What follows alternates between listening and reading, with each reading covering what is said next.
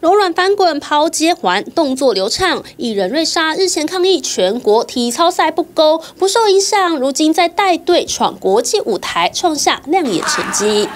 亲自为选手绑头发、化妆，瑞莎记录下参与赛事的每一刻。她十一号开心发文，生完孩子后，终于能够带小选手们赴土耳其参与六百多个人的赛事。有两人在全能等三个项目中大获全胜，之后再带他们比西班牙的国际赛，一共两场国际赛事拿下了十九金、七银、两铜。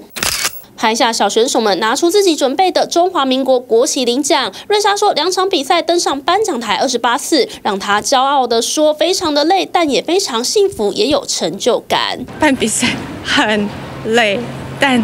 非常开心，瑞莎这回难掩兴奋神情，也沿途拍下许多土耳其、欧洲的美景。贴文曝光以后，网友大赞：谢谢瑞莎对台湾体操的努力，恭喜孩子们为全国争光。瑞莎也说，看着孩子们进步成长，笑容都是值得的。TVB 的新闻，杨新波、洪婷台报道。